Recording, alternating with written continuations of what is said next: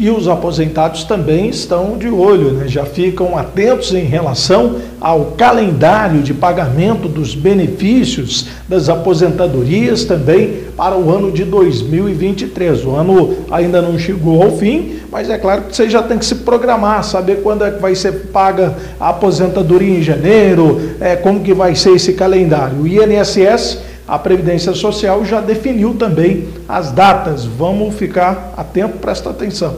Mais de 37 milhões de aposentados e pensionistas do INSS já podem conferir as datas em que vão receber o pagamento dos benefícios em 2023. Para quem recebe um salário mínimo, os depósitos referentes a janeiro serão feitos entre os dias 25 de janeiro e 7 de fevereiro. Segurados com renda mensal acima do piso nacional terão pagamento creditado a partir de 1 de fevereiro. Os valores serão pagos com reajuste.